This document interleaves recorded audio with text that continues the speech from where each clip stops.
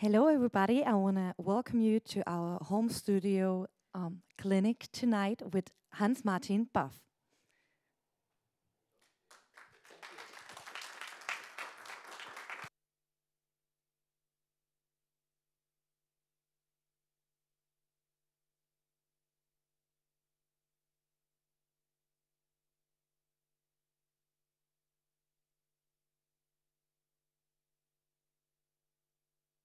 You have to turn it on. So there we have it. So make sure that the PA is off, please, so we can do that.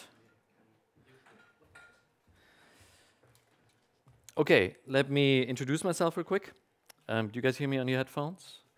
Okay, for you people out in YouTube land, um, this is going to be a presentation where at some point at least you will need headphones. Uh, um, otherwise it won't work. So I'll point out when that moment will come. For you guys here in the auditorium of uh, Thomann, it's important that you have them on right now because we have the PA off. So everything we're going to hear, we're going to hear through headphones. Once again, the headphones, the cable should be on the right side. Make sure the left-right isn't switched if you brought your own. Very important. So let me introduce myself, if I may.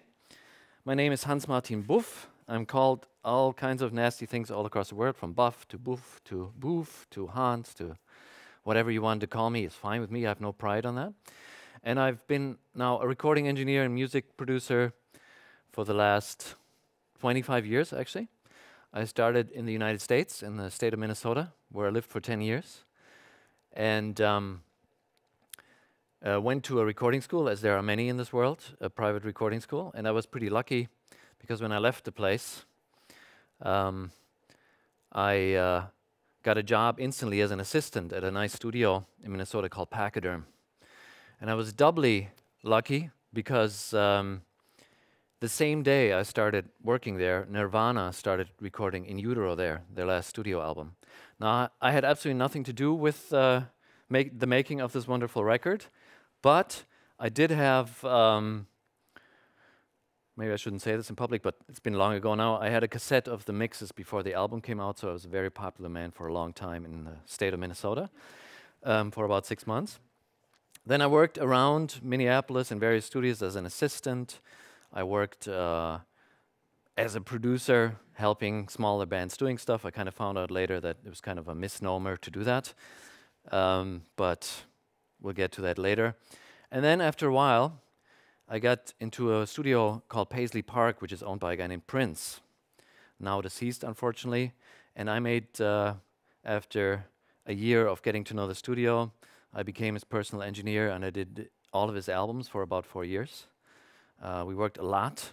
I think uh, calculated it's about 250 songs we did in those four years, both for himself and for others, because as you may know, if you're Prince fan. He was very, very popular, not only with the fans, but also among musicians. So musicians would come to him and ask for help, assistance, um, advice, good times, whatever. So not only did I work for him there, I made the funk albums as an engineer of people like Larry Graham. People who are into funk will know him. He's the guy who invented slap bass, wonderful man. Uh, an album with Chaka Khan, and brief encounters with lots of people like No Doubt, um, Lenny Kravitz, Sheryl Crow came by, a bunch of others. After I was done there at Paisley Park, I was a bit worn out, so got a real job for a while, which is I did uh, advertisement and TV sound and stuff like that, which was it was a great company where I worked, but I knew very very quickly that wasn't for me. I needed to know that I was making rock and roll records. I wasn't in it for the buttons. I was in it for the musicianship and helping people make things happen that haven't happened yet. You know, that was kind of, to this day, is what drives me, what really makes me enjoy it. So, me and my family moved to Germany, um, first as a trial, but it worked out, as you can see. I'm still here. Um, and since then, I've had the fortune to work with a lot of people. Two I'd like to name. First, there was a, a guy named Musti. I don't know if you're aware of him. He's uh, originally a DJ. He's very popular uh, in the house community and he had two humongous hits in the 90s that had absolutely nothing to do with. There's one called Horny. I'm sure all of you, if you admit it, after about five beers, have danced to that song sometime in your life. And he did uh, Sex Bomb by Tom Jones, which is a great song enduring one of the classics of the 90s. And he's a wonderful producer as well. So with him and for him, I've worked with a variety of song uh, of people from remixes for you know uh, people like Boney M, you know remakes. Uh, uh we did uh, Barry Manilow once. We did a Copacabana redo. We did entire albums for R&B greats like Andrew Roachford. We uh, did German stuff like Die Prinzen, Yvonne Catterfeld. So lots and lots of people. Come, we did Italian grands like Zucchero and Jovanotti we worked with. So it's been a, it was a great time. And um, since then, I've worked a lot with the Scorpions. I work with a lot of people, but the Scorpions are great to show off, and we'll actually see a little bit of their work later in the program, um, which I've now I've now been working with them on and off for 10 years, lots of uh, live DVDs and such, and I think it's been now four albums. Me as an engineer, they're produced by uh, two wonderful Swedish producers by the name of Mikael Nord Andersson and Martin Hansen, who go by the name of Nord Hansen and uh, have done great work, and we'll see some of them later too as I show stuff. Before I talk about home recording, which is kind of our topic for the day, I want to show you a little bit of my history of studios. The first thing I can tell you um, maybe we can see the pictures on the screen so you guys can uh, see what happens. The first studio I worked at, this place called Pachyderm, is a great, great studio.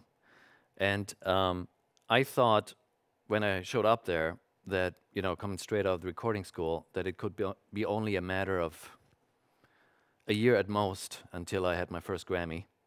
It didn't work out that way because the first three months I actually helped organize the office uh, me and the other assistant, we dug trenches uh, for the telephone lines out to the studio.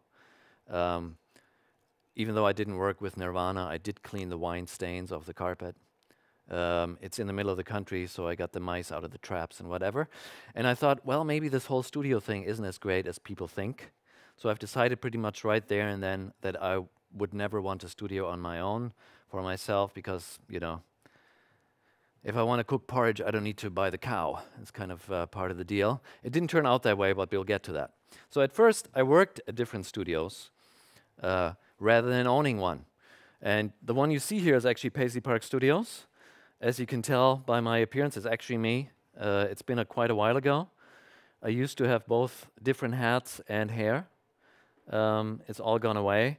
But you see pretty much the basic setup that was the norm in a world-class recording studio in the early 90s, in the mid-90s. This is actually a picture from the year 2000, but it's nothing, there's, there isn't much in there that ha hadn't been in there at the beginning of the 90s as well. So you see the basic thing, you see in the background, you see tape machines.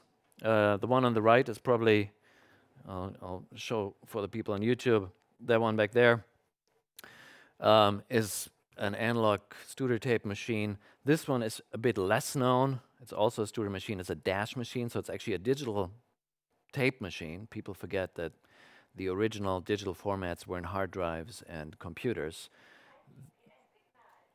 They were uh, tapes, and they were about half-inch tapes. They were very flimsy, thin tapes, but they fit 48 tracks, which was very helpful when you wanted to record a lot of tracks and only had 24 uh, with uh, analog tape.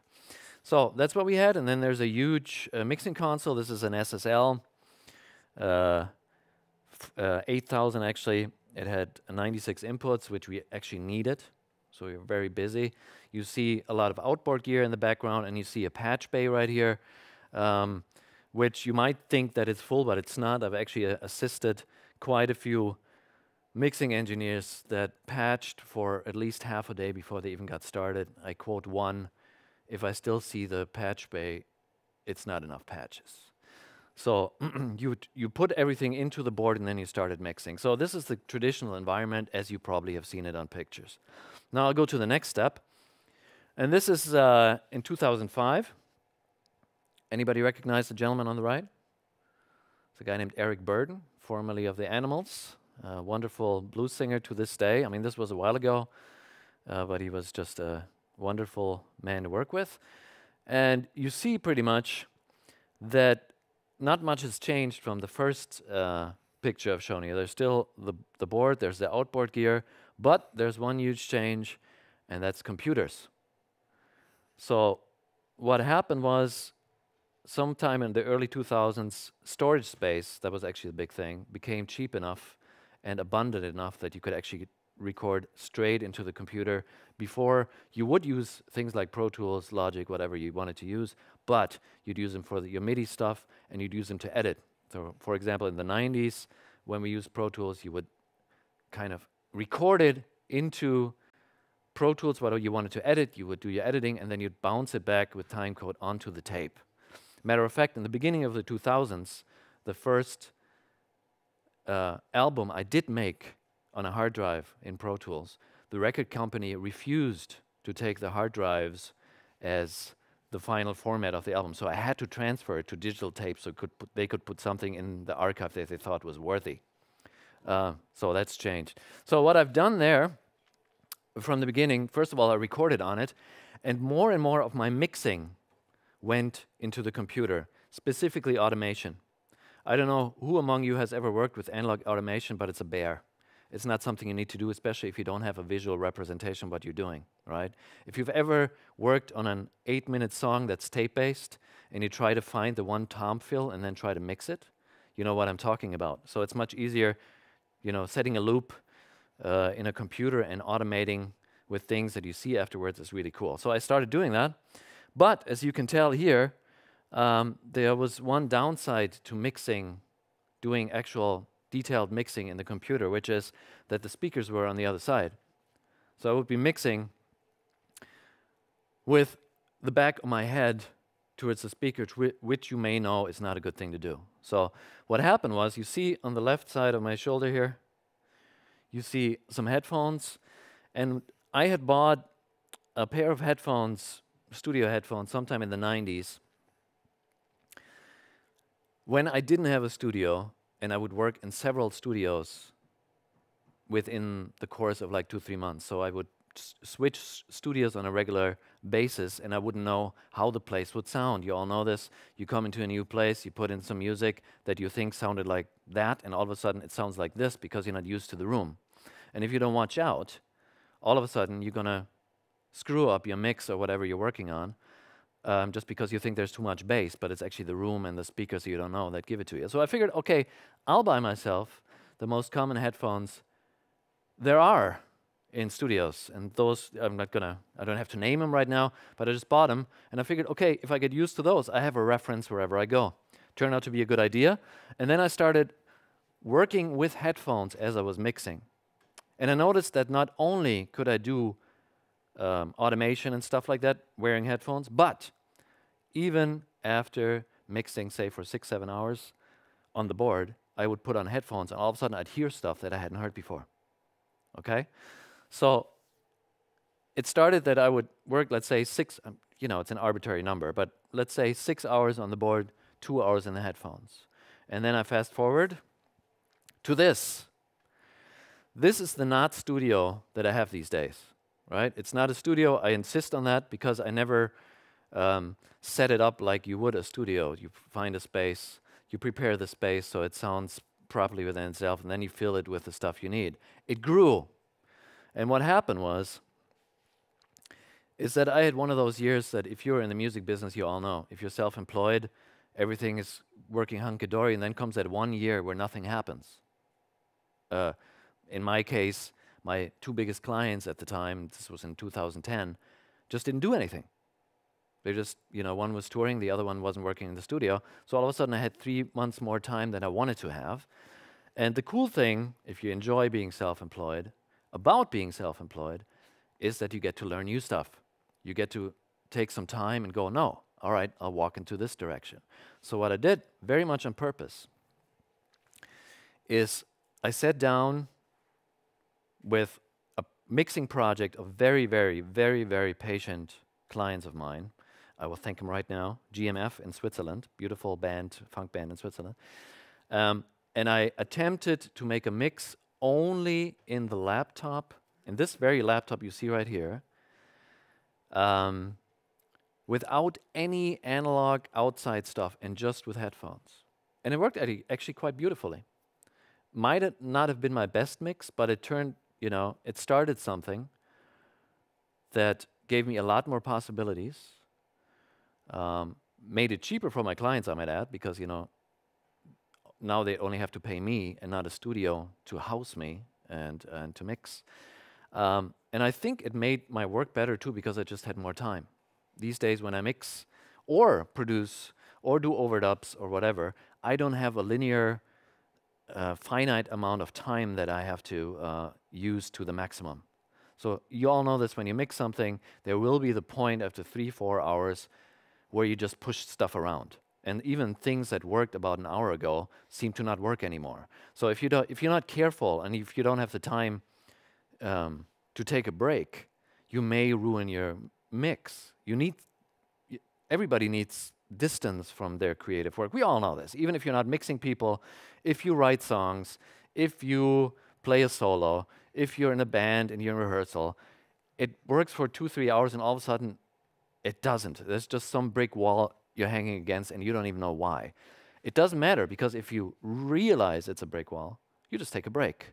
And of course, with the laptop, that's the beautiful thing. You can do that whenever I open my session, be it now, be it in two years, be it next week, it'll sound the same. And that's something I really, really don't want to miss anymore. Okay, I'll kind of jump ahead real quick before I introduce the possibilities of my uh, studio. Qu quick fast forward. There you go. This is the last step I have these days, which is I've mixed in the box and I feel like there is something of a glass ceiling. It's not a glass ceiling that makes the quality less um, valid than if you had an analog mix. But if I go into an analog environment at the end of the process, I think it'll add about 10 15%. I have to admit, it's not an automatic thing. For example, I've done mixes where I've sent my clients the bounced mix, uh, straight summing over uh, a mixing console, something run over tape, and I wouldn't tell them what it is. So I'd send them mix 01, mix 02, mix 03, and they wouldn't know what it was. And the result of what they liked best wasn't necessarily um, the analog or the the board mix. It could just be the the, the bounce sometimes, you know. So it's not it's not something that people hear necessarily, but I believe I hear it. You know, I can add to it and I can just make it even a little bigger. All right, before I get to how I do that, let me finish my little home setup. So when I started, the setup wasn't half as big. It was virtually just my laptop and uh, my headphones you see some racks here on the side, but they're not really important. They're for the recording side. I will show you what happened there with that. But the first thing that was really important was actually a fader pack. This is uh, uh, then Euphonix mix. Now it's Avid Artist mix, uh, which I find really important because when you're creative, be that as a mixer or whatever, you need to be able to work intuitively. And I believe if I quickly want to put something up and see how it you know, sounds, the click, click, click won't work. For me, at least, it won't. So I had that. And then I started buying some speakers because I noticed that, once again, I know my headphones very, very well, but the same thing that happened before with the six hours board mix, two hours headphones, works the other way around too. If you worked on headphones for six hours and you switch your listening environment, all of a sudden you hear stuff you haven't heard before right? So I did that on purpose. Um, this is not a sales event, so I'm, I don't need to. Well, I can tell you what it is. I mean, obviously there are KRKs, little ones. They're just nice, nasty, and loud. They're down here on the left is a little subwoofer. I'm not a friend of subwoofers at all, but I've worked two days, uh, two days, two years ago on a project that was very electronic based. And the one thing I always had a problem with with my mixes, or problems the wrong thing, but um, the thing that was obvious is that there wasn't a distinction between low mids and low lows. And with that, you need a subwoofer for that. But at the same time, I'm one of those people. I feel like if you hear the subwoofer, it's too loud, And you know this. You go into a lot of studios with people as subwoofers, and somebody hits the kick, and you and the bottle keeps walk, you know, walking across the room. That's not what I want. I just want to have a a line between low, low, and kind of low, if that makes sense to you. Um, and these are from a Finnish company called Amphion, which um, have been a re- revelation for me because they don't give you that mid satisfaction that you usually get from, you know, that NS10 vibe. NS10s are ex- a huge example. Yamaha NS10s are huge uh, examples for loudspeakers. They don't give you much high end, not much low end. They just give you the punch out of the middle. These are uh, anti NS10s. They're completely uh, uh, lined up the sounds more or less. So when I first heard them, I actually turned them off in another studio because they just didn't give me the they, they, they weren't sexy enough, you know, they weren't hitting me. But I have to work much harder on these things and I hear everything. And as a positive side effect, I can work very, very quietly because as you can see in this picture, once again, it's not a studio. It's a home office. You can even see my guest bed in the background. So if you ever come to stay at my house, that's where you're going to sleep, right next to the subwoofer. Don't put water on it, please. Um,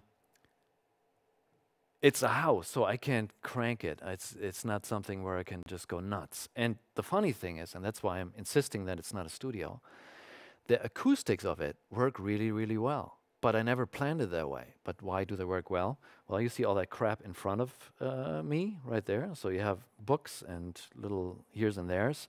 Uh, this reflection doesn't work very well. I put them high enough. This is behind me, right? So I have my records behind me and, and a keyboard, so there's, there's some of it.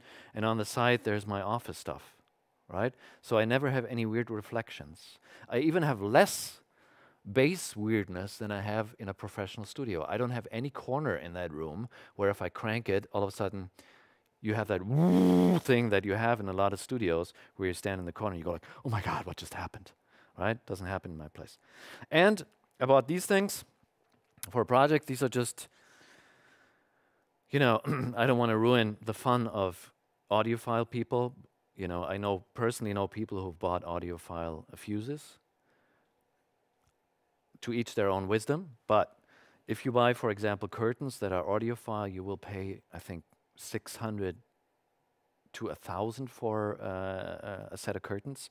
These are the fine IKEA ones for 60, and you just put be two behind each other and have your wonderful vocal booth you know, if you work with headphones. So that's the basic setup that I have. Okay. At this point, what's happened is that I don't make a distinction anymore between the real big studio, as you would in the analog times, and the small project studio. There are exceptions, of course, there, there's always been great albums that sounded like crap um, or that were recorded in somebody's bedroom, but they had enough vibe to be great albums. There's Springsteen, McCartney, Prince, whatever, people that did it in their basement. But you could hear the difference between a big studio and a small studio. So anybody who could afford it would build their own, go to a big studio, and make their entire album there. I don't do that anymore. For me, the center of my universe, oh, I'll just stay there, is my laptop. And what I do, for example, when I go into a studio to mix like this, I will never use the studio computer, right? And I will come straight, I will hook up my laptop to the interfaces in the studio. And I do that with this thing. I don't know if there's something you can zoom in on or people can see. So it doesn't matter, but I can turn it around. Anyway, that's it. Do you have it? You're on there? So this little box here, um, I'm a Pro Tools user, so this is an Avid box, and I'll pass it around. I don't know if you know it or not. It's called an HD native Thunderbolt box, and what you can do is you can hook up, it's kind of a replacement for the traditional cards, right? So with a Thunderbolt out, I can hook up to this Avid interface, and then I can hook up any HD interface to my normal laptop without needing cards. So I will run it in native, but I will use the interfaces of Pro Tools, right? So to make a very long story short, I can, if we can see that picture again, I can now hook up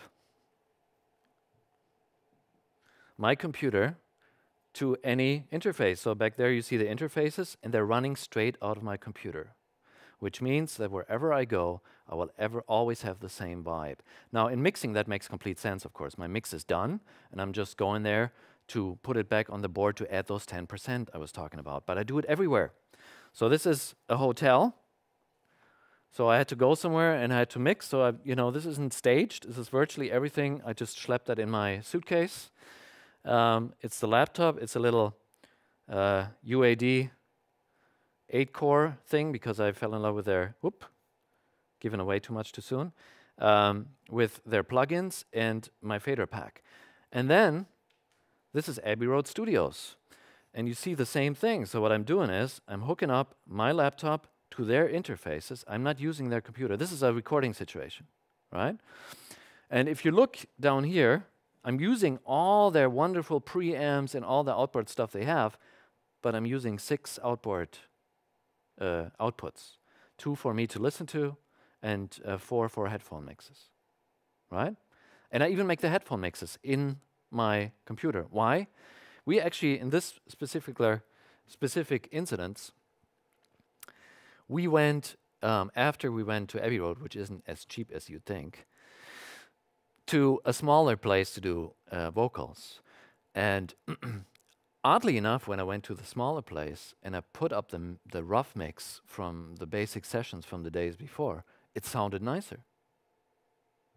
Which makes a bit of sense because, you know, right here, I had speakers that are very close to a door to the back, and I'm between a glass and a hard surface on the other side. So there's, I don't, it's not huge, right? It's, it sounds great. I'm not going to diss Abbey Road ever, best studio in the world, but there you have it.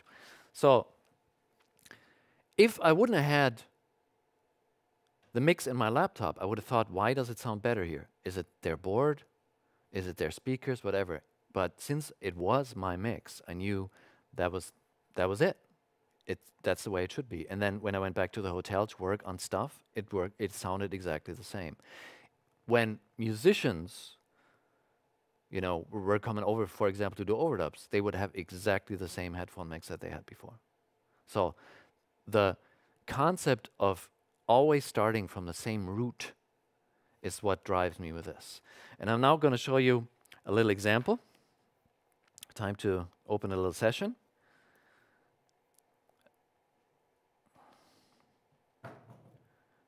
So this is a song by a young artist. I think he lives in Berlin still, but he's originally from Karlsruhe by the name of Mats Heilig, um, who writes lovely songs, has a great voice. And he's actually the one I bought the subwoofer for, I have to say, but this song I'm going to play you has nothing to do with electronics, so bear with me.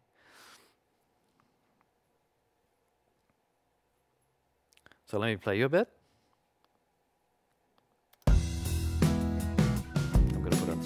too.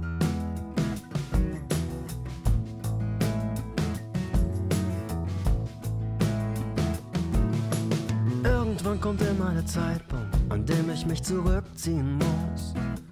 Weil mir das Ganze außenrum zu schnell, zu viel, zu laut wird. Und das ist dann meistens der Zeitpunkt, an dem ich nur noch in mich reinhören muss. Nur noch zuhören, wieder langsam was entsteht. Ein Gefühl, ein Wort, ein Satz, wenn auch meistens nur sehr bruchstückhaft. Do you get the basic idea? It's a lovely little song, acoustic guitars, very organic. Um, and you feel like, okay, you have the vibe that you're supposed to have, which is there's six people sitting in a room playing it twice, done. I think I used six stu uh, studios for this song particularly, and I want to show how I did that and why I did that. It wasn't because I had to, right? It wasn't like, oh my God, nothing's working, I have to go to another studio. Not at all. This is a perfect example how I work with different studios. So this is Mats on the left, who you see here. Um, please excuse my bad iPhone panoramic pictures. So, you know, there's not an alternate reality in his living room, but that's just kind of what it looks like.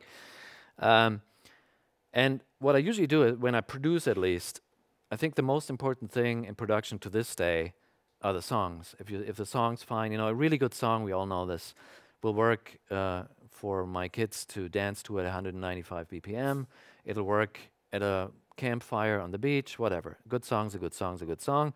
And to this day, I think if you have that basis of good songs, half your work is done as a producer. So what we did is we went through his songs, actually in his living rooms right there, and then I recorded, uh, had him record just a basic guitar track and a basic vocal track from which to work on, right? The next step was this. This is actually that studio pachyderm that I was telling you about. It's uh, in the countryside of Minnesota. Wonderful studio, and right there where that uh, drum kit is, is where Dave Grohl's drum kit was for the Nirvana recording. And I didn't go there to, to Minnesota to record one set of drums for months, but I was there to begin with, and I wanted to work with this wonderful drummer, a guy named by the name of Eric Fawcett, who's uh, uh, done many wonderful things, but his claim to fame is being the drummer of uh, NERD, Nerd, uh, Pharrell's, Pharrell Williams's, and uh, I don't even know, Hugo Chavez, is that his name? No, that's the Nicaraguan, no. I'm getting things together, Venezuela and, and Nerd. Anyway, he was the drummer in a very uh, good band around Pharrell Williams, and we've been friends for many, many years, and I wanted to work with him, and I wanted to have big sounds. The majority of the album uh, wasn't supposed to be analog recording stuff. It was just, you know, kind of sample-based, kind of programmed, whatever. So I was going to go in there, record straight drums for the entire song for two of the songs, and the rest just little loopy bits that we could use later, right? So I was in there to collect sounds. And that's the reason I went to this place. Not because I had no other choice, but because I wanted specifically that sound for the record. And they have a wonderful mic collection. They have a one of those old API consoles. Um, they don't have even pre's, but they have like a gazillion Neve outputs, uh, gazillion Neve pre's and a Neumann pre's, whatever. So you can do really, really good sounds there. You can collect great sounds. So let me see real quick if I hook this up right, because then I could send that to you real quick. Wonderful, everything worked out. So I'll play you a little bit. Just this is just recorded with my cell phone, but you will hear just how that room sounds.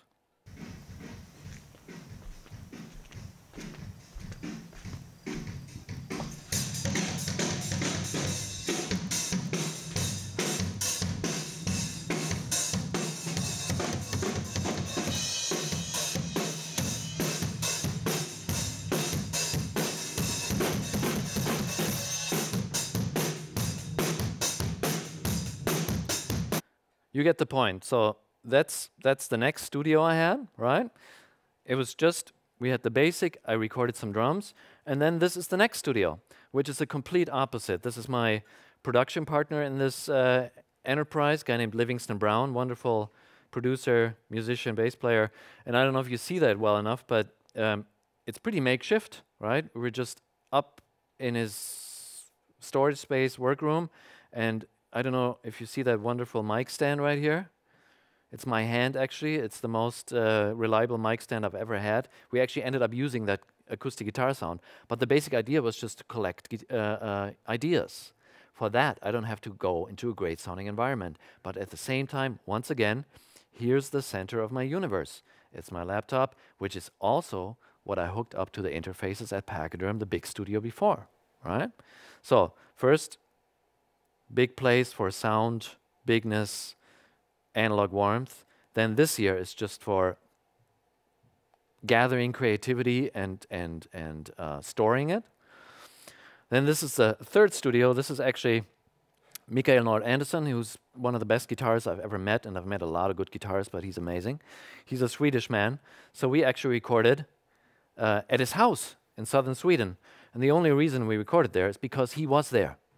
That's the only reason we went there, which was wonderful. It so turned out that, especially for the sound on this record, that room had kind of a natural slap, so that worked really, really well for the acoustic guitars.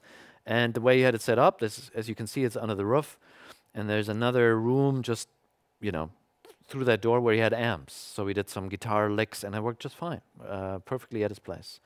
And this is the next place. You know, I mean, live a little. That's all I have to say about that. Um, it's a studio in southern Spain, which is very affordable. Actually, going there, flying with three people, um, staying there, whatever, was no more expensive than it would have been to just go into a studio in Berlin and sleep at home. And the reason we went there is to get a vibe going.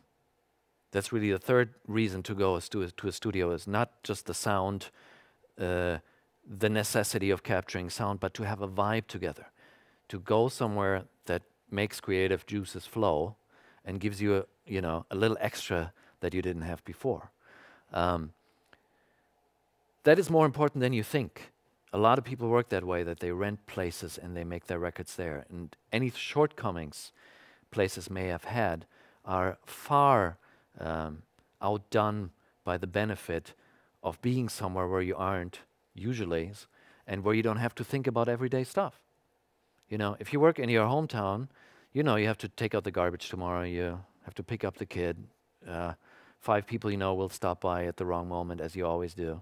It's one of the reasons I get up these days very early. It's because I worked at a studio where starting at 11 in the morning, people would just run through the frickin' place until 6 at night at least, and you'd never get anything done. And then three hours before 11, I'd get more done than in the rest of the day. So that made me give up my wonderful lifestyle of working until 4 in the morning and then getting up at 11. So thanks, people. So there you have it. And then this is the last step. It's actually in the same studio, but then the, the main room was uh, used. And that's where, that's me, Dobby, the house elf, uh, being behind there. And what we did, we just took one of the bedrooms and uh, put up all the mattresses in there. We took some the bedding and hung it over the, the hard walls. We stole a couple of gobos out of the studio. And I had brought my own rack with a pre, a compressor, um, and an interface. This one right there, little Apollo UAD um, and my own microphone, and then we recorded the vocals in there. They're all the final ones we did, right? So I was there, nice and quiet. He was singing. It sounded really good, and that's where it came together. And then, of course, um, there aren't final final mixes yet, but the next step was once again at my place at home. And uh, lastly, would have been if the mix would have been done, the extra 10% at a mix studio the summing thing, which, by the way, is also a good thing to do because it doesn't cost very much more. Most people, a lot of people have this idea in their heads that good recording needs to be expensive. Of course, it is if you if you book a studio, full-blown studio, uh, for two weeks in a row. It's going to be a lot of it's going to be a lot of money. You need some budget. But if your mixes are done, and you have 12 songs that you're going to mix, and all you want to do is add that analog depth and use some of the great outboard gear that's in the place. So you, you don't have the questions anymore. You just want to add punch, depth, whatever you want to add. Um, you'll get three to five songs done a day. So you can do an entire album in three days, which is affordable in any project that is in a hobby. So uh, something to think about, and that's why I'm showing you this. My home studio at this point is virtually everywhere because this is always the basis and I'll come back to it. Then, you know, for example, I recorded a place called Abbey Road, but then I drive by train somewhere else and I'm going to edit in there. I think the only thing I haven't done in trains is tracking, even though I've recorded ideas just into the to the mic, and I haven't done mixing. That just doesn't work because of the changing. At least not for me. Uh, for the pressure on my ears, that doesn't work for me. But everything else, every editing, adding, sound designing step I've done on trains, and lately now that they have outlets even on planes with proper noise canceling headphones. Okay, let me just real quick to uh, before we actually go on to something more substantial, play you the little things again and what it sounds like, you know, uh, by them, how, how, they sound by themselves um, from all those different studios. So this is the drums.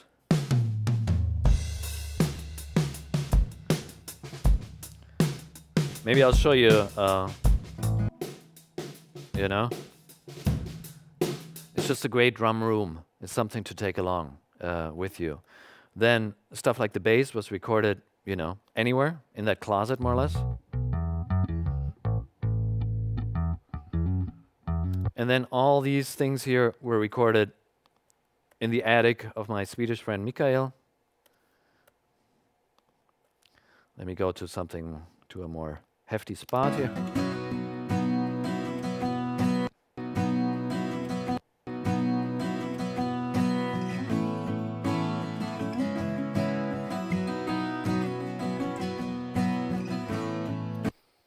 Sounds just fine, right? Two mics, take along, have an Apollo, uh, a portable preamp interface that is well, and you're you're ready to go.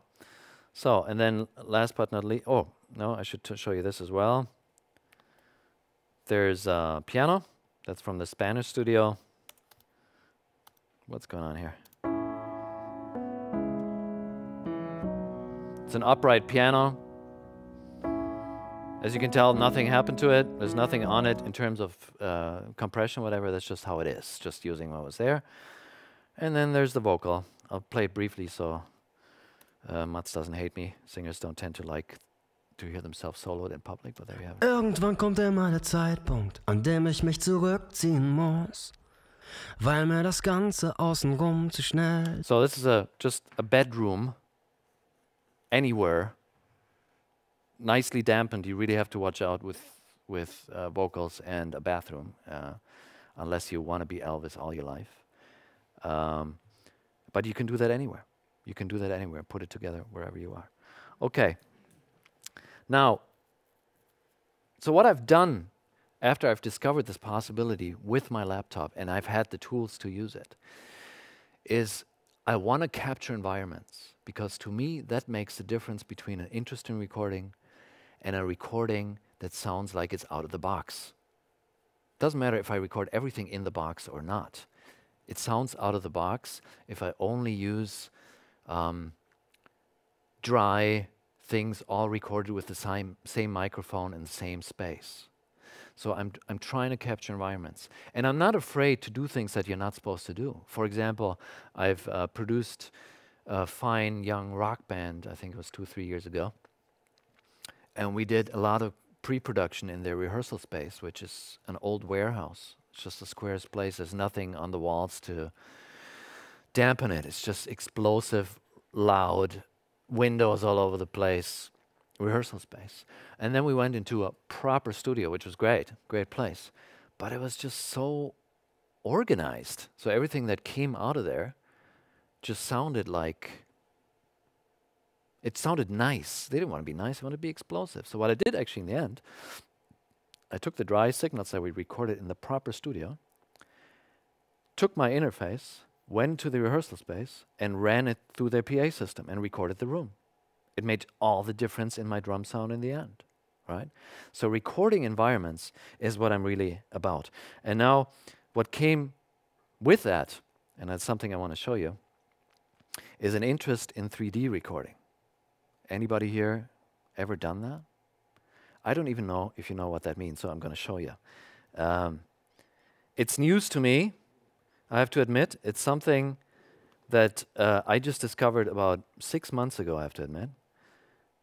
And it hasn't stopped me ever since. When you think about 3D audio, you usually know it as surround, but there's a difference. The difference is that there's height to it. You know that if you've been gone to a movie theater lately, you know what 3D audio is. It's all around you. It's flying above you. When the helicopter, you know, with Batman comes, it's actually up there. It'll go da, da, da, across. I've never believed that 3D audio would be something um, outside of set environments like movie theaters that would be of any interest to musical production. Why? Have you ever seen regular non-audio people with a stereo that has more than two speakers? And if they do have more than two speakers, do you have have them properly installed in the right position with the right angle from a sweet spot in the middle? I have not. So I always thought that's a hoax. Anything, or not a hoax, hoax is the wrong thing, but it's kind of like tube amps in the 70s and 80s. It's something for a select few who really want to know it. It's not something that regular people will use to enjoy their music. Now, something has changed, which is there has been a technology for a while, but now it's really present, where you can binauralize surround stuff, 3D stuff, I want to say, because you can do it in all formats, hide whatever. What does that mean? It's not an encoding process. What happens is that the music, where you usually need speakers, right, is EQ'd, treated in such a way, and then record it to two channels, just like any stereo, that you just, with regular headphones on your head, you can enjoy a 3D environment wherever you go, which to me is a game changer. And I would like to play something. So, people in YouTube land, now is the time to put on headphones because otherwise you're not going to have any fun. Very important. Put on the headphones, time to go. Make sure you know where left and right is uh, because if everything com is coming from behind, that's really interesting. You chosen the wrong side. So left and right, hook that up, please. And I'd like to play a little something that unfortunately I had absolutely nothing to do with. Um, this is mixed by Fritz Hilpert, who is a member of Kraftwerk, has been for a very long time, and has been mastered by Tom Ammermann, um, who is a pioneer of the binaural world, is a preacher about it, I might add, and has made some very good tools. Uh, the spatial audio designer, SAD is a bit strange uh, abbreviation, but it doesn't matter. It's a wonderful tool, and I'd like to play something here.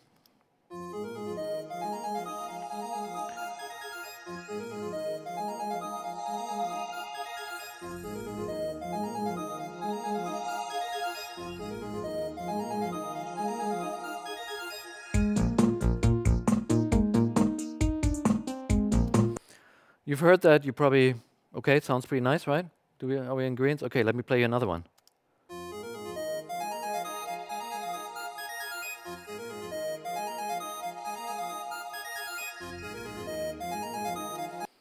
Do you notice how much smaller that sounds? Is that obvious to you people, or or do you not? Who who hears the difference? Come on, nobody. Okay, there's a couple. It's very very subtle. Let me go a bit more in the middle.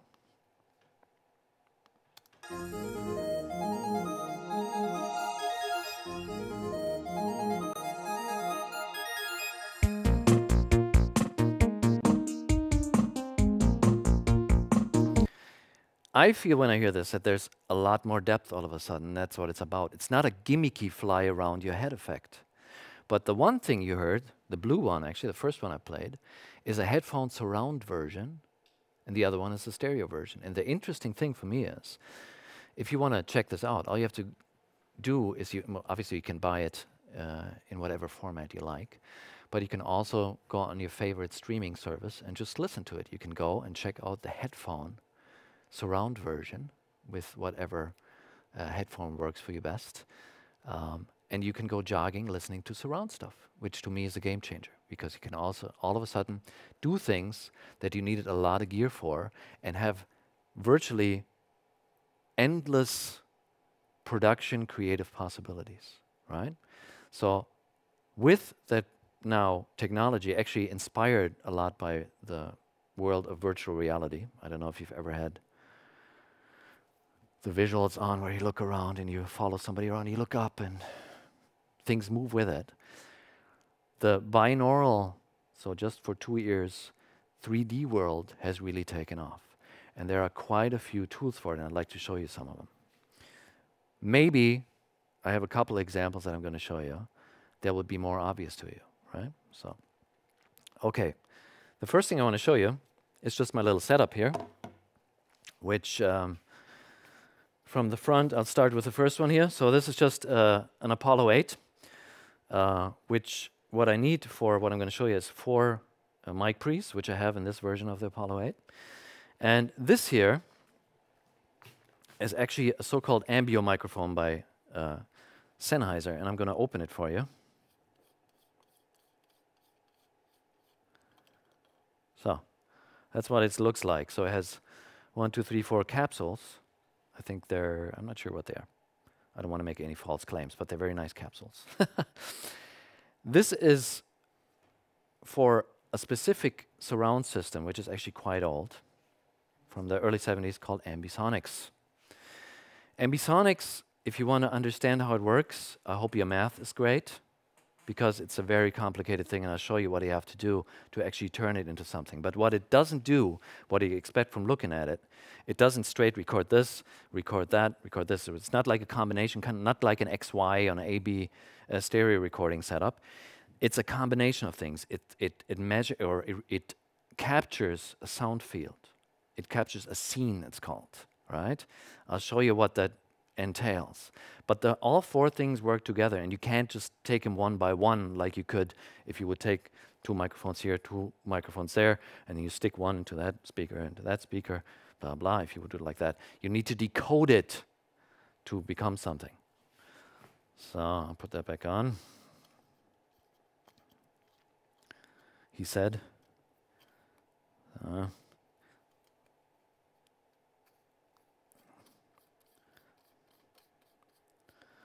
So what do you have here?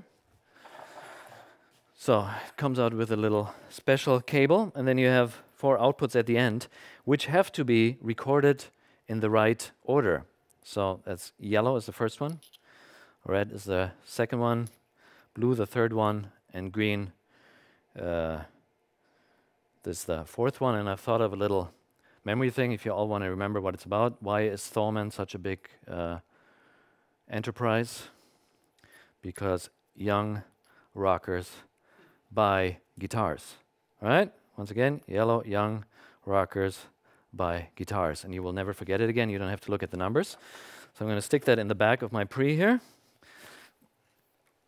One, young rockers buy guitars. There we go.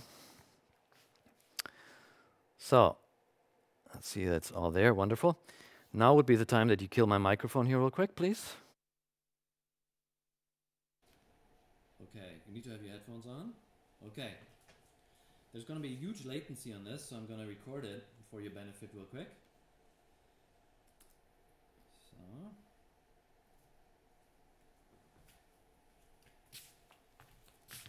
There's a sign called the front which is very important when you position your mic where, you know, it can be down or whatever or back, but you need to know where the front is. This is the front. So this is the front. That would be the left.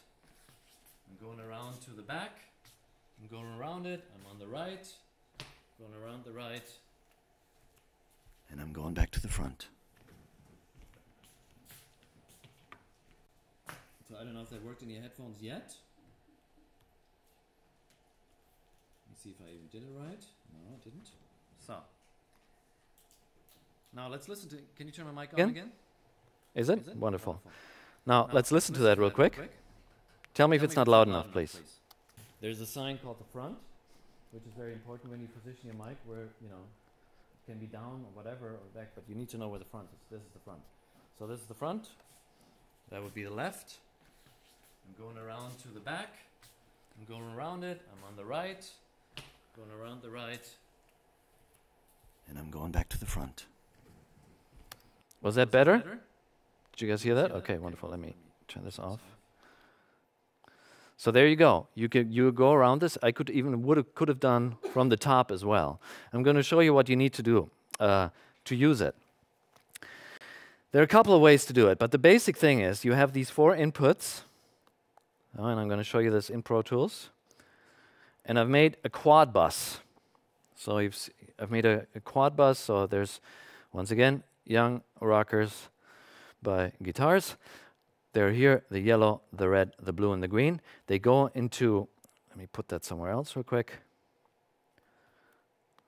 Just, that doesn't matter. Just make sure I have that like this. I'll take those plugins off real quick so you see what's there. So there you go. So this is actually a quad bus. So I made a bus with, you know, four inputs.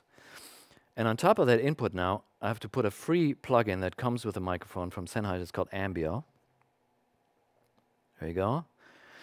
And in here, it's gonna go that way. You see kind of what's happening in Ambiosonic. So you get this, what's called the A format. that comes out of the microphone straight into it. And then that's being turned into the B format. Let me make sure, you know, next time I'm just put that to the front. There you go. And the B format actually turns it into all the different axes of, of um, space um, that you can record. There's W, which is mono, so that's everywhere. There's XY, which is left, right, and back, front, and then there's Z, which is up, down, which isn't very much. It's kind of pretty much the basic setup that you can do with ambisonics, right? Okay, but now you still can listen to that. So I've used a really, really good plugin called, it's from Harpex. And we'll go, as you can see here, from quad to stereo. Because I'm a cheater, I just go right in and do my settings. So you have the input, which is that B format I was talking about. And then I have an output mode, which is binaural. I can also take that information and uh, put it into any speaker setup. So yeah, this is not just for headphones.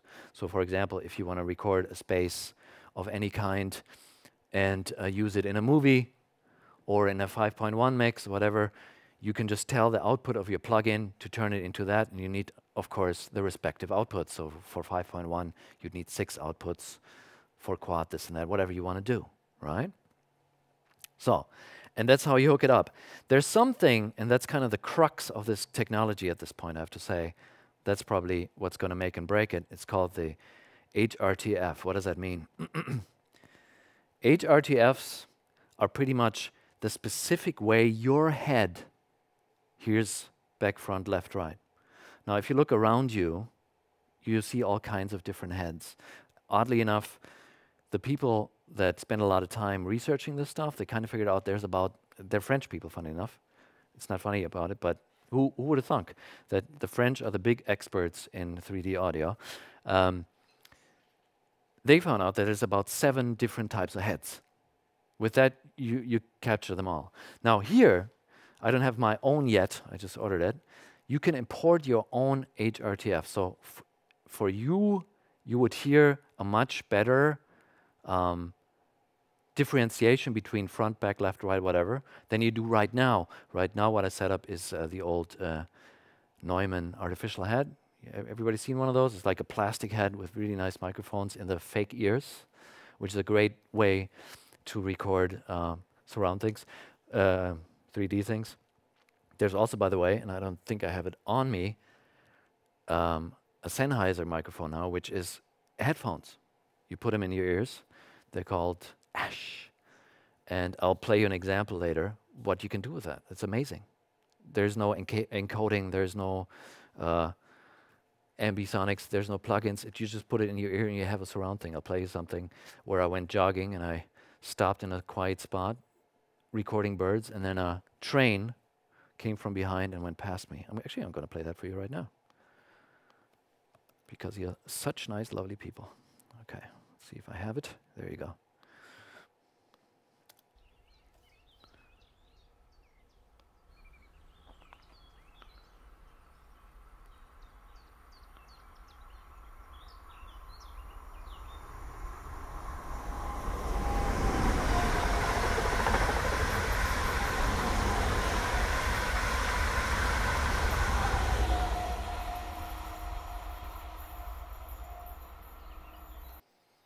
So for, for whom, who had a sensation of back to front? Okay, the interesting thing, it's about a third. Why is that? You must have similar heads than I do. Because obviously I'm my own artificial head in this, right? Because I had the microphone in my ears. So for me, this is absolutely perfect. For me, it's like, whoa, coming through. Usually when you record something like that, the best, it, that type of um, 3D audio, same with the ambisonics, is not for defining certain movements, but to be enveloped in sound. And I want to show you uh, two more examples for that, if you're still interested. I'll get to the point very soon, I promise, right? So, okay. What I want to show you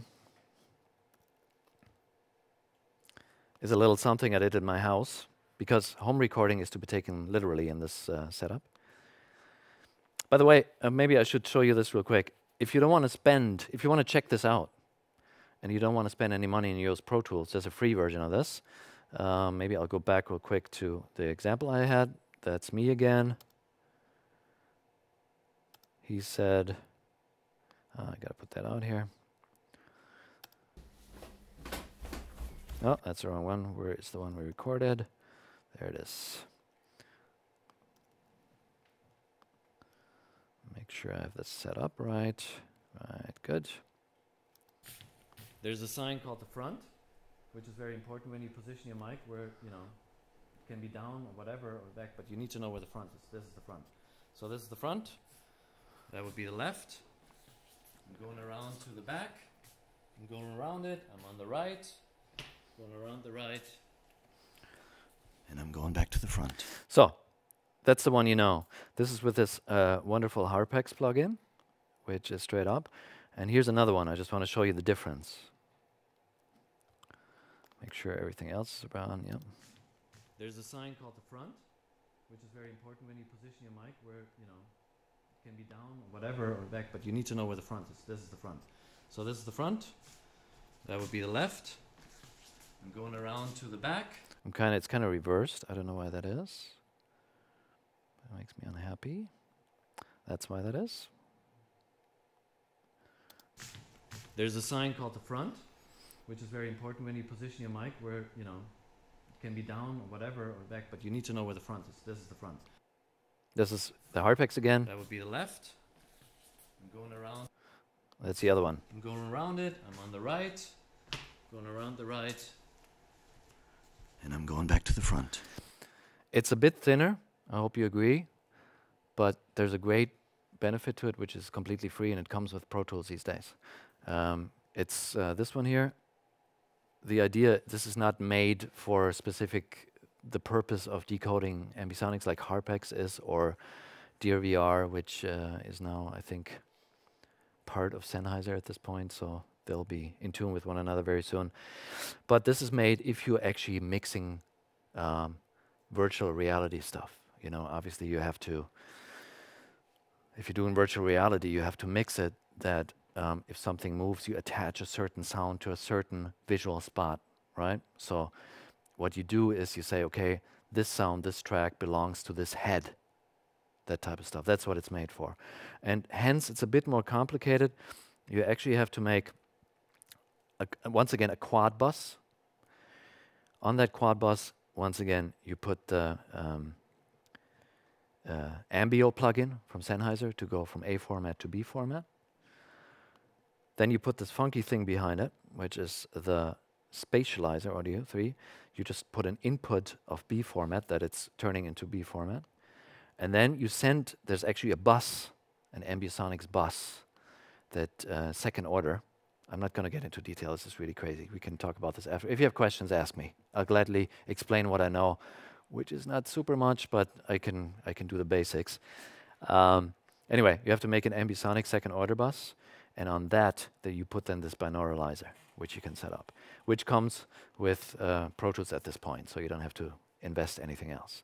I personally don't think it sounds as good as Harpex does. Um, I wish I could have shown you what my specific HRTF, so my specific stereo 3D head setting would sound like. I'd be, I'm really looking forward to getting mine. Made by French people again. Um, and then we'll see what the best one is and how to convey it to others. Because what I'm showing you here is really interesting to me. I'll be interested to hear what the YouTube people say too. Uh, when I ask, do you hear a difference? It's usually about half of the people that do. Which isn't that great, but it's certainly more than the people that have nine speakers at home at this point. So, as far as I'm concerned, this is a really good start. I've talked to a very smart man by the name of Florian Camerer. He's one of the uh, people of the local Tonmeister organization, so the people that write uh, the smart audio norms for TV and other things.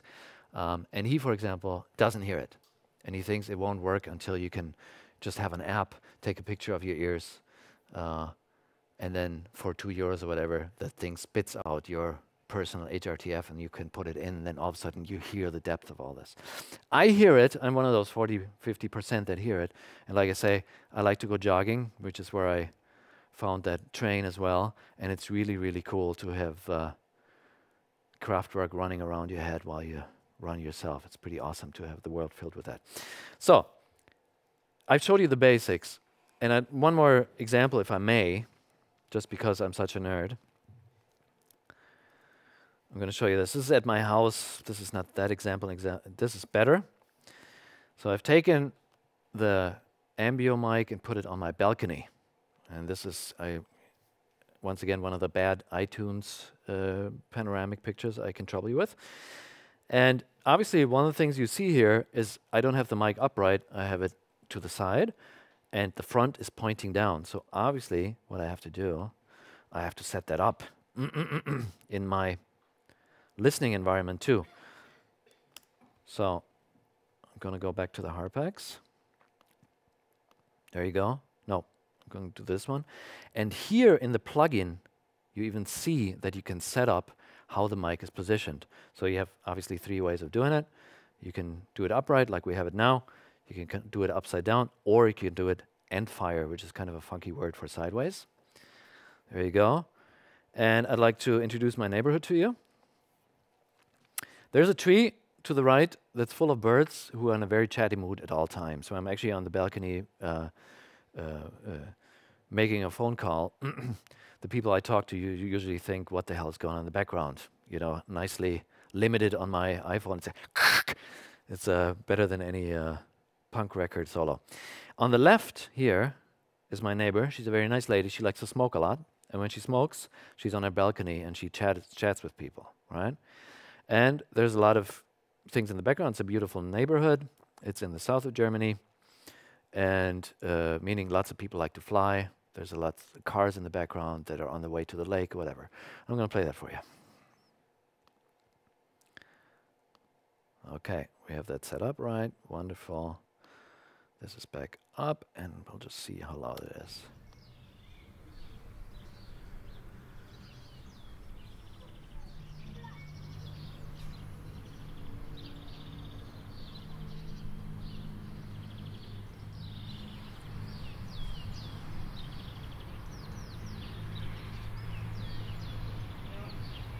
It's reversed again, much to my annoyance. I'm sorry I have to do this to you again.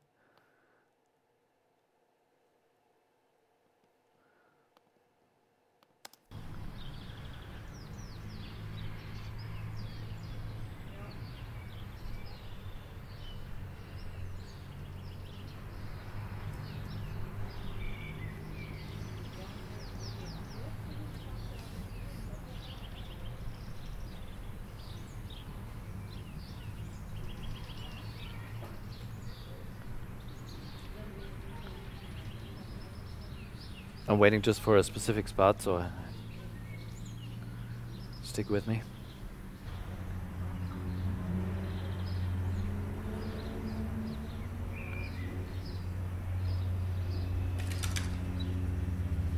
So that was it. So for those of you who hear the difference, right, you don't hear much behind you because there's the door, but I think you hear a pretty good difference between the, the birds that are here. The neighbor, do you guys hear that too? Okay, the people who so far have been kind of untouched by the beauty of all this. Um, the neighbor is down there, and you kind of hear the street that's in the background. It's kind of low below. Unfortunately, I didn't have a plane going overhead, but that, you know, you can't ask too much. Um, but this thing is what I wanted to play for you. That sounds like a bird in one spot going like this, right? But what it actually is, there were three birds flying by but because they were so fast, the mic captured the scene only at that one spot.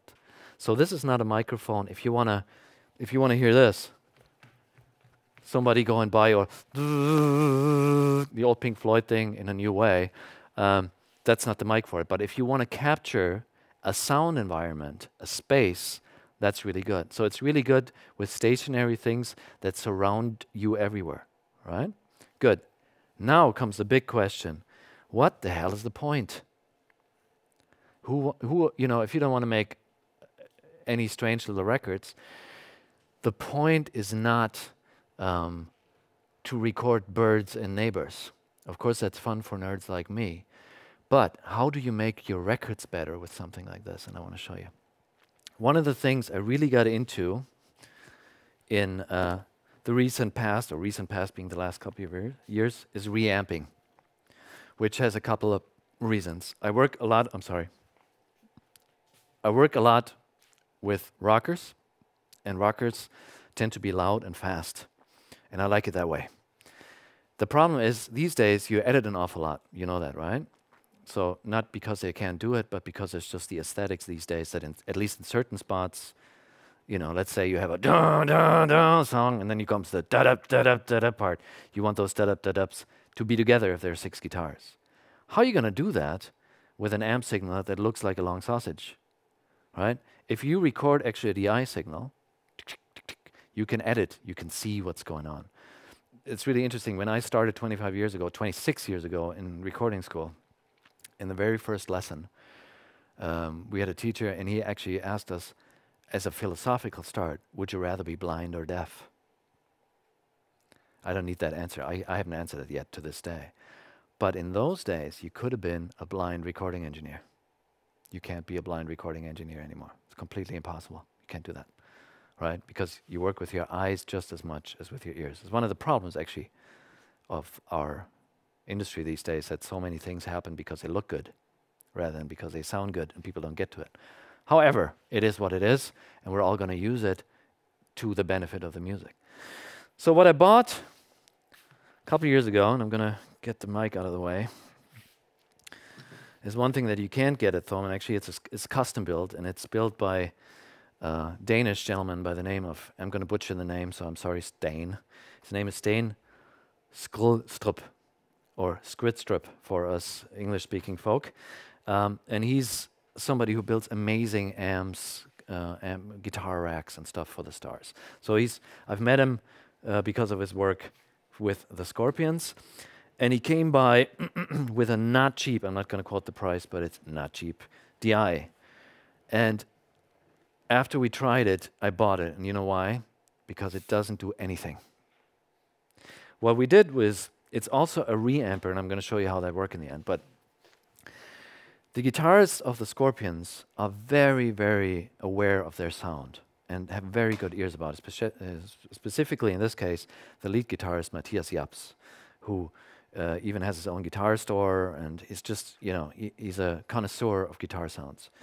So what we did to really give this thing the try is what we we had him play his guitar through the DI into his regular setup, and it sounded like he wanted it to sound. We recorded the DI we recorded his amp sound. And then we took the DI sound, reamped it, and I, for those of you who don't know what that means, I'll explain it in a second. Reamped it, put it back into his amp, right? So we recorded out of the computer DI into the amp without the guitarist playing, recorded the result, and then compared the direct result and the reamped result. And you know what we heard? Nothing. There was no difference. And that was the idea. So I schlepp this heavy thing with me around wherever I can. Right now it rattles a bit, which worries me, I will see Stain hopefully soon so you can do something about it. Um, it works really, really well. And for those of you who don't know how reamping works, I'm just going to show you. Everybody knows how DI works. It's pretty easy. Let me show you if I have it here. There you go. You have in any DI, you come into some quarter inch jack with your guitar sound. Then you have an output that goes to the amp, so it takes the uh, signal straight through with doing it as little as possible. They always do something, this one doesn't, but anyway, we'll just be there.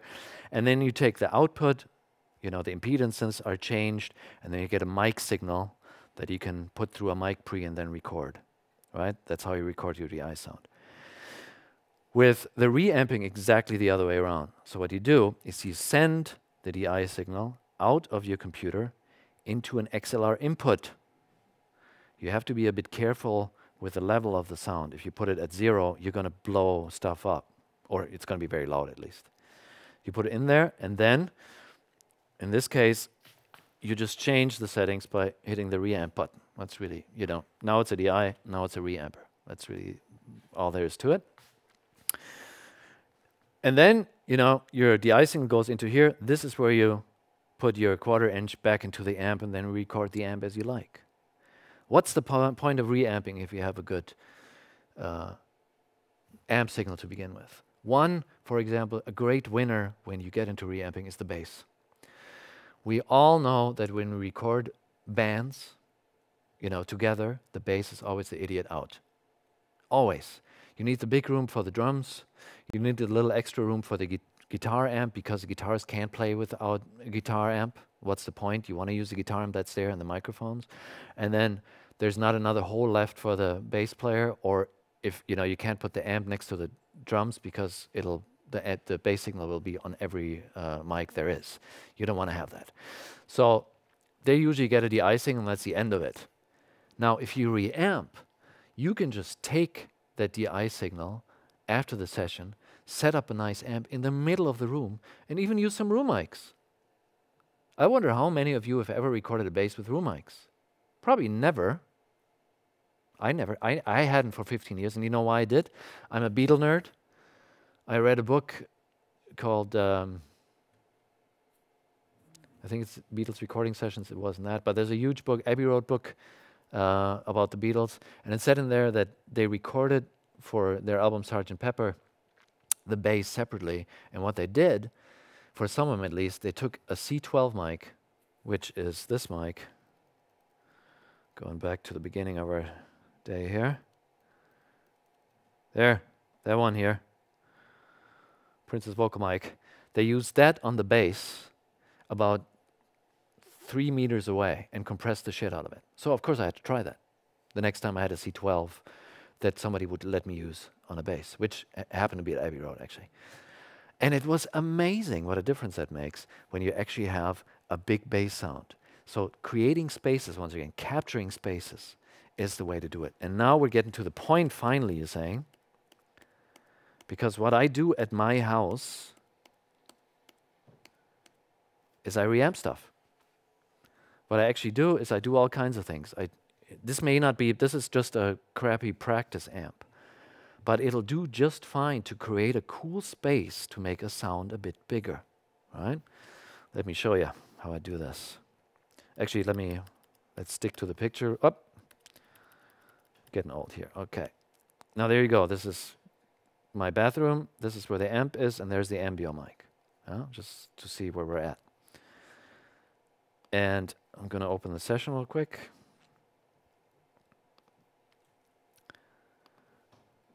And what it is, it's a song by a friend of mine named uh, Buddy Buxbaum. Very talented, very funky German man. Used to be in a band called Deichkind. The rap people among you will know them. Very cool stuff. Um, for those of you who know them well, he's the guy with the big afro. Really cool stuff. And um, we've, uh, he's made an album and I mixed it, uh, I think two, three years back. And I got actually some new gear. And to check it out, it was a Maschine by Native Instruments. I made a little remix that was never released.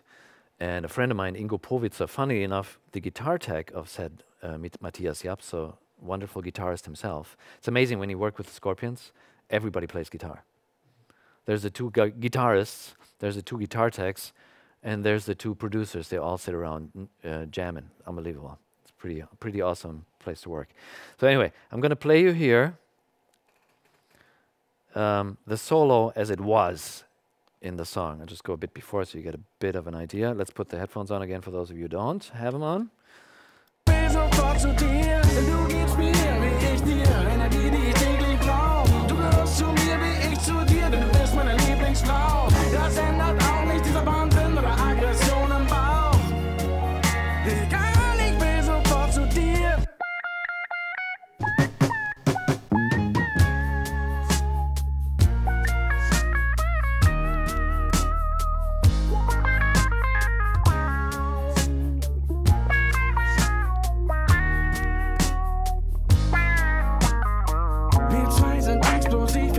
So the interesting thing about this is I kind of made that sound. If I take that stuff off that I have on there, which is a little wah-wah plug-in and some compression, which sounds like this.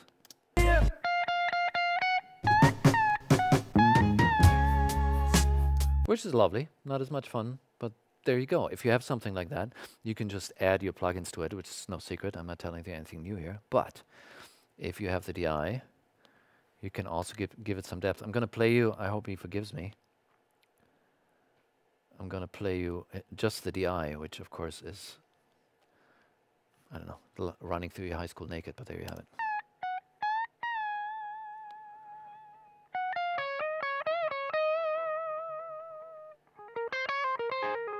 You must add some type of compression, distortion, and a pedal before the DI, but anyway, that's the basic thing. So what I did was, I did what I just showed you in the bathroom.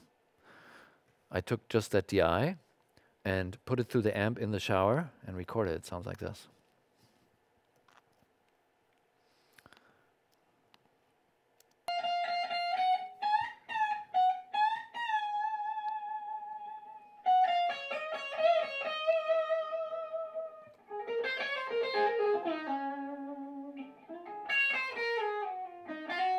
You can't fool the Ambeo mic. The shower is on the left. It's a bit too far to the left, so we're going to play a bit.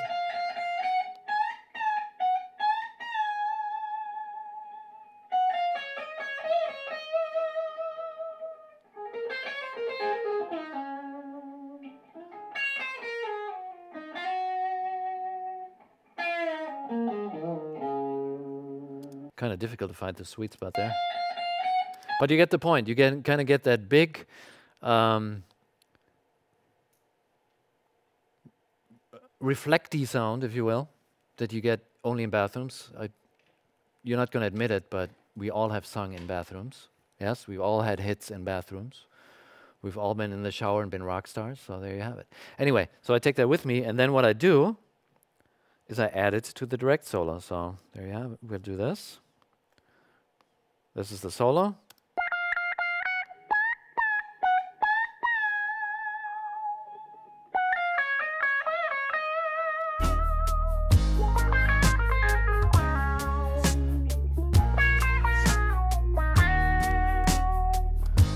What I've done now, all of a sudden I have a bit more depth to what I'm doing, and it'll always, always sound better than a reverb, if you have the choice. I once, I have to admit, uh, I had the great pleasure of meeting Bob Clearmountain many years ago. I'm not going to tell you how I weaseled my way into a studio, but it was great. And at the time, I know he had, I don't know if he still lives there, but he had a, a regular house as well, but of course he had a proper studio in the basement to mix and he turned the old wine cellar of the house, just, you know, wine cellar sounds so big, um, but, you know, a little uh, concrete covered space in the back. He had an amp in there and an SM57, I believe it was, and that was one of his main reverbs. That's just how you get that depth. Okay, I'm going to show you one last example, if I may, and best for last, and I would like to show you the Scorpions, actually. Um, and what I did there, I'm going to show you with permission of Matthias Jabs himself. Thank you, Matthias. Another technique how you can do this if you want a different space to do something and if you don't want to schlep a huge amount of gear with you. So I'm just going to play you a chorus and a solo of a song. This is, like I said, uh, produced by Nord Hansen in Sweden, mixed by Martin Hansen of those two. Um, and this is what it sounds like. I'll just kind of fade it in for you.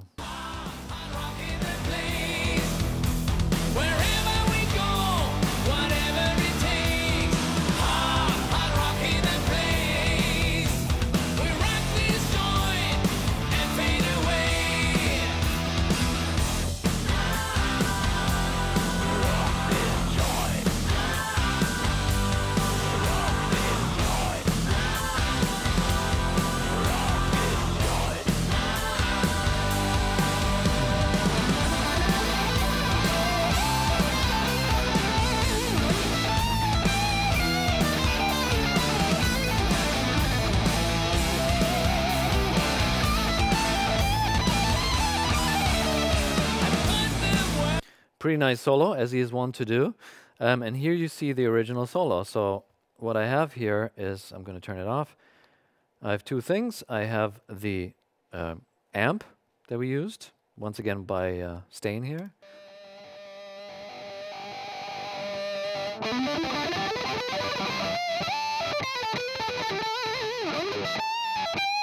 There's absolutely nothing wrong with that sound. I mean, the only thing I've added here is a bit of uh, delay.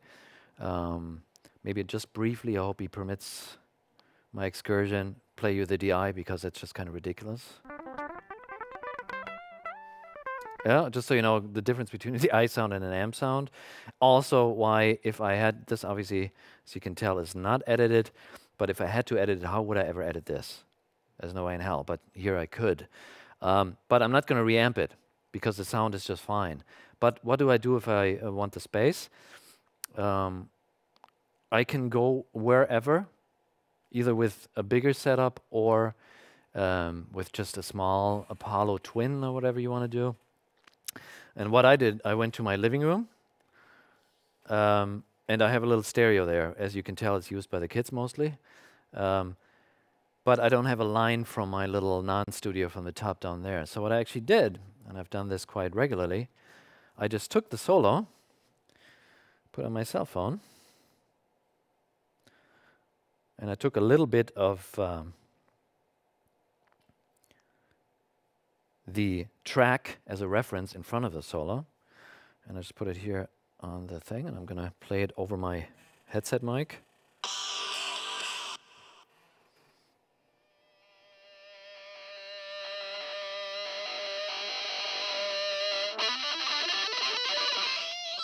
That's a solo, you've heard it before, right?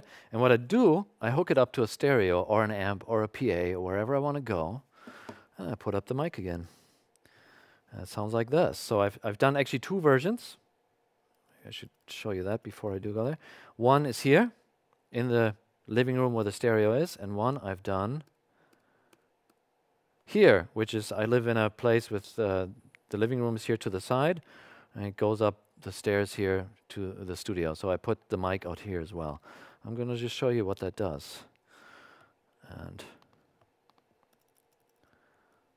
so here's number one. I have to see that again. Let's hope it's the right way around now for once. I love this beautiful wheel thing because obviously I'm not smart enough to always record it with the right side to the front, but there you have it. We'll keep that one degree here.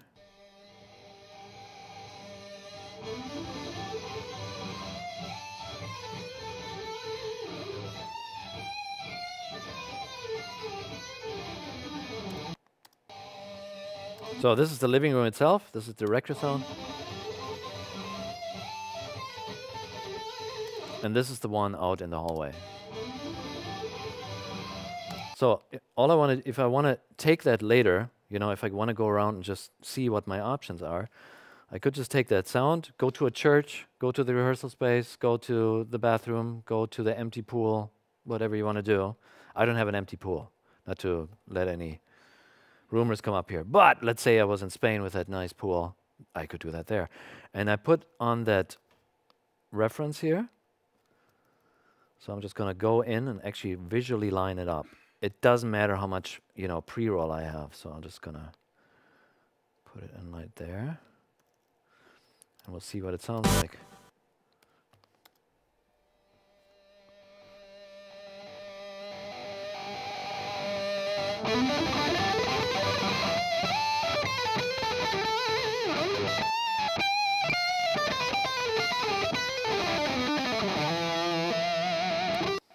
Once, once again, a Class A reverb that is better in my world than any emulation and made at your very own home. Once again, home recording.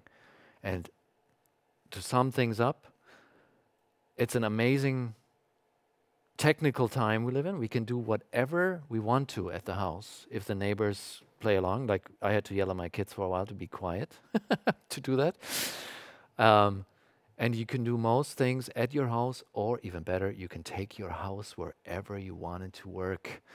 You can take your tools that you're comfortable with, your um, templates, your, your work situations, your microphones, and with the help of portable tools like this one, and specific mics, which is always a good thing to have. I think that's really the one thing to invest in if you want to invest in um, audio equipment as an audio person. Don't take too much time with audiophile fuses. Buy some decent mics and, and some pre's if you have some more money laying around. Thank you very much. I hope you enjoyed my presentation. And if there's, I'm sure there's tons of questions that I haven't touched upon. So if you have them, mm, you here in the room, and of course you people online, I don't know what the procedure is to be exact, feel free to uh, ask me. I'm here all night if you want me to be. Thank you.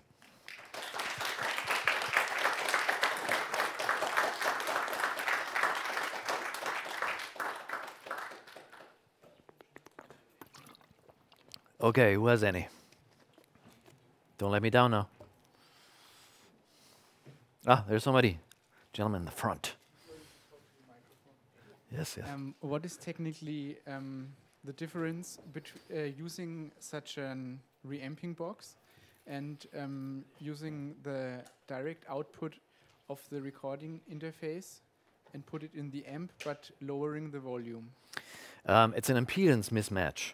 It's my understanding. I have to admit, I'm not the guy to ask for very specific um, technical explanations of how that works, but that's pretty much what it is. It's what a DI thing is too. It just it it changes the impedance, the instrument impedance to a microphone impedance, and it does the same thing again. It changes it from a line impedance to an instrument impedance. That's what it comes down to. And it does make a huge difference. Uh, this is obviously not the only box that exists that way, but try it once. Reamping that way is kind of a bitch, I have to admit. Without it, I mean, it doesn't sound very good. I've tried several times. If you like crazy sounds, it certainly works. If you like overloading stuff, uh, uh, but uh, it depending on the amp, it may just bark and fart at you. Yeah.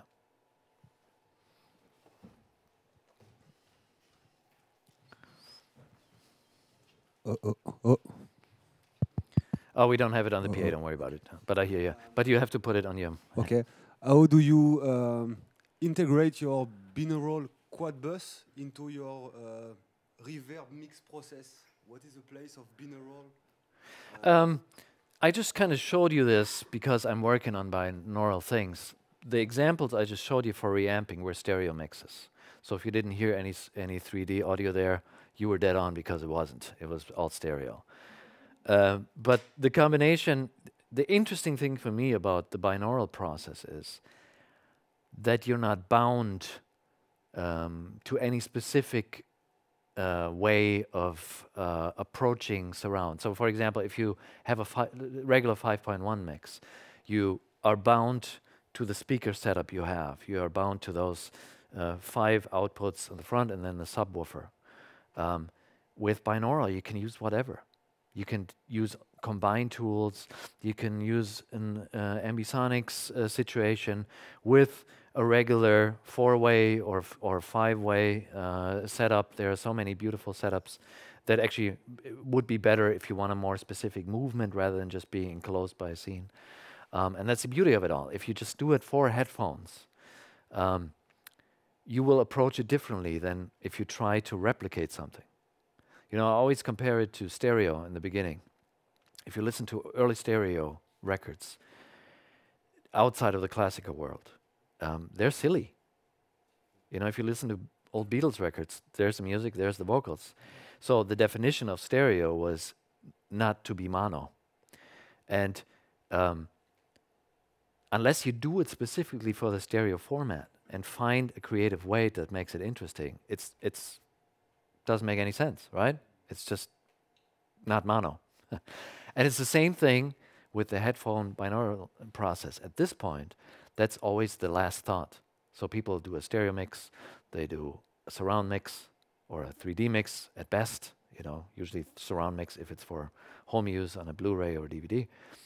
And then they make a binaural version like Tom Ammermann did because he knows what he's doing and put it on a streaming service, which is, I, I don't know if there are any other examples. Uh, Kraftwerk is the first one that I'm aware of. Um, so, meaning the binaural thing is not the main purpose. And my thinking is, is that if you really want to get into that, you have to take all possible ways and make that and only that sound good and not think about stereo, and not uh, use surround. So that's how I would, to answer your question, that's how I would incorporate it into my workflow, is to find the right balance between direct sounds, uh, spaces, um, specific instruments that allow for good up, down, left, right positioning. The headphone, uh, the mic, please. By using binaural solutions, you uh, give for specific or for each element uh, uh, own environment. But when you have to stick them together in your mix, do you have some? Do you, could you find some troubles to? No. You see, my thing is, I'm, I'm not one of those people. I depend on people that are very, very meticulous technically and care about physics. And one of the things I actually learned at, with Prince is to not give a shit. he, I think, out of all the people I ever worked with, he was the one that just didn't give a shit about circumstance, ever. He wanted to get something done, and he twisted and pulled and pushed so long until he liked it, whether it was right or not. It's interesting. I don't know if there are any Prince fans in here, but the interesting thing was when you talked about Prince to somebody else. Um, let's say uh, you would talk to a great guitarist about Prince, they'd say, "Wow, he's a fabulous keyboard player." And then you talk to a great keyboard player and you say, "Wow, what a great guitarist." So none of them would ever say, "Wow, he's you know he's great in my thing," but he was just great in everything because he would grab it and mold it into his specifications. And that's kind of what I learned from him is to like trust the two cheapest and best tools you will ever have. These two. That's what counts in the end, you know. Um, to a specific example, I remember a Prince thing where he wanted to record um, piano. And as you can see, as you saw on that uh, uh, picture in the studio, he had a nice mic collection. I was like, I, I don't have the mics, man. He goes, doesn't matter, just stick some SM58s on them. Like, on the piano over my dead body. But I did, and we just twisted until it sounded decent. And the performance, it's what makes the difference. Like I always tell people who are too meticulous about their technical setup, there are so many great records that sound like shit.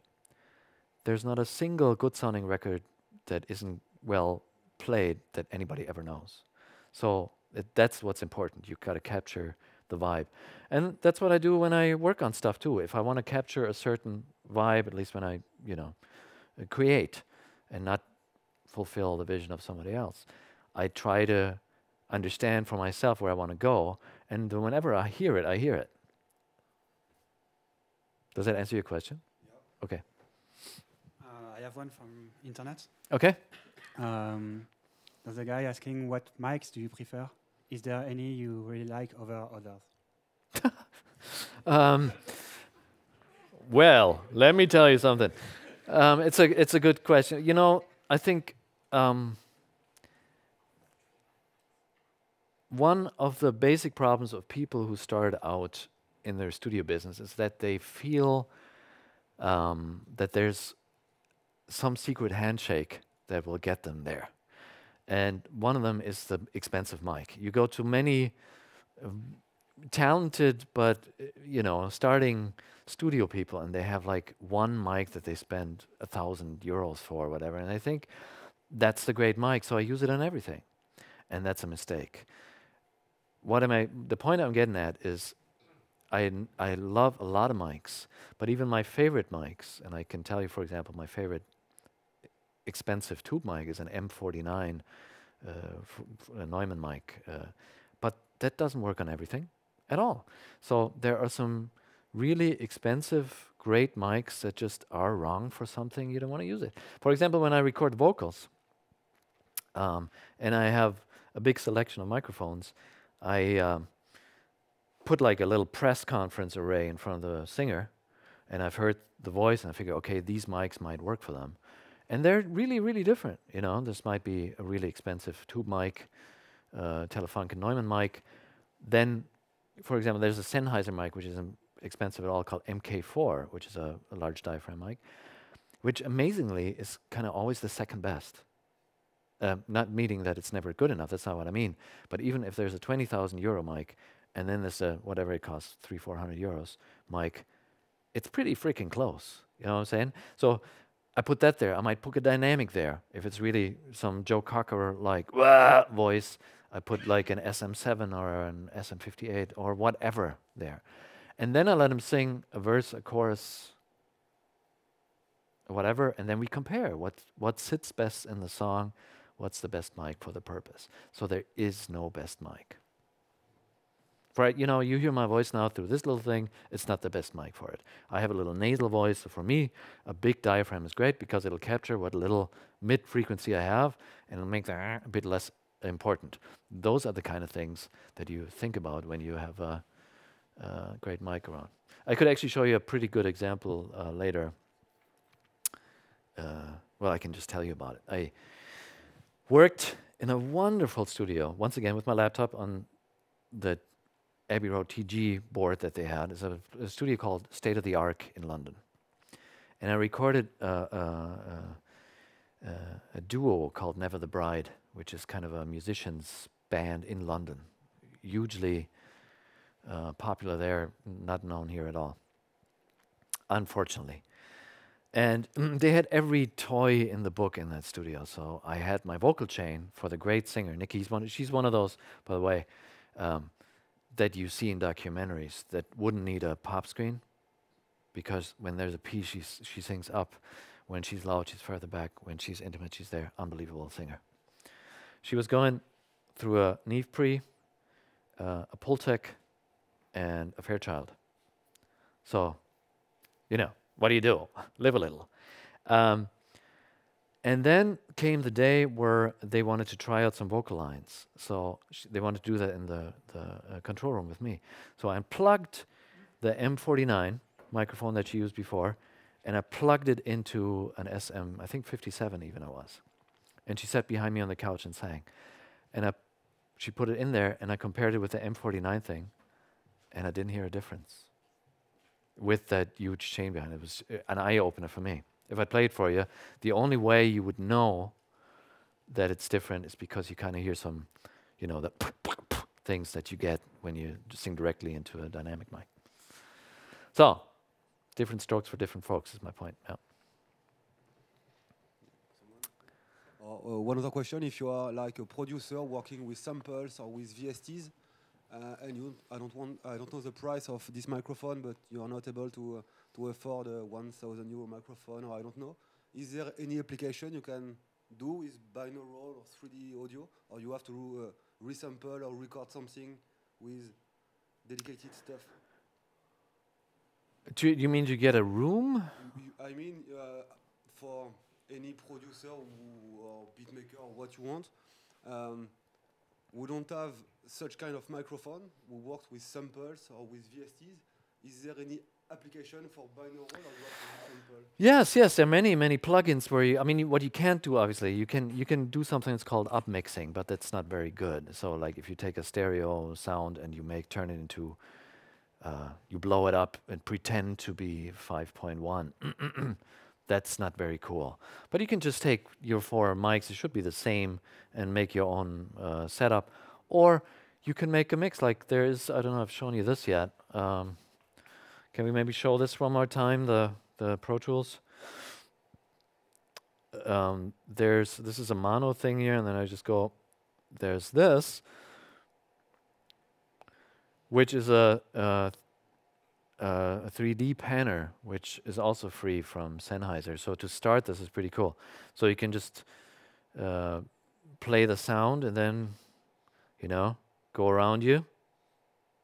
It's, by the way, interesting when you get into this that certain, I'll, I'll play it for you in a second if you like. I can, I can certainly play that for you.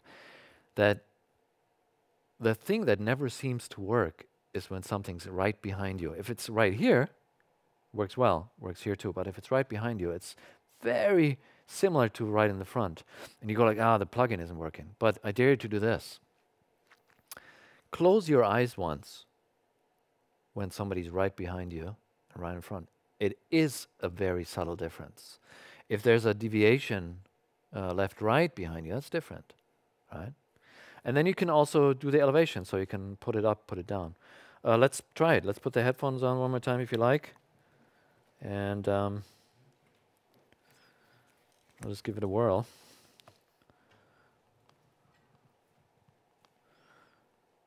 So let's see if I put that on,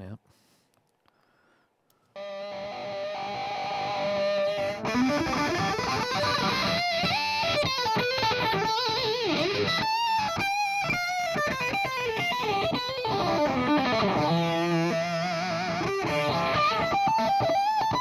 That works pretty well, right?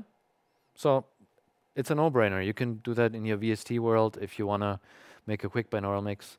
And you won't be able to make spaces like that, but there, you know, there are some decent reverb plugins that uh, are hooked up for it. But uh, just like in stereo, I think the the basic, or at least, you know, I'm really in the beginning stage of my journey on this. But it seems to me that um, the secret to an interesting 3D mix are well placed mono signals rather than spaces are part of it, yeah, to kind of make it bigger, but placing mono signals interestingly throughout your 360 degree field, um, that's that's the important thing, and you can do that with this. Um, like I said, I've mentioned before, uh, dearVR. There's SAD by Tom Ammermann. There's all kinds of things. Just demo away and see which one works best for you. There are different philosophies, and it'd be interesting once it takes off more, which one's going to stick. Some approach it more like, okay, you will. It's kind of more from a reverb angle.